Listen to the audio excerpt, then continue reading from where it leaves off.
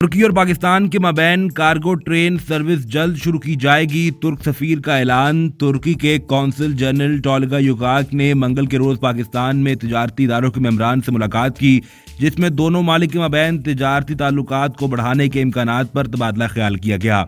Federation of Pakistan chambers of commerce and industry के दौरे के दौरान कौंसल जनरल ने बताया कि इस्तांबुल और इस्लामाबाद के माबैन कार्गो ट्रेन सर्विस का जल्द इफ्तः कर दिया जाएगा।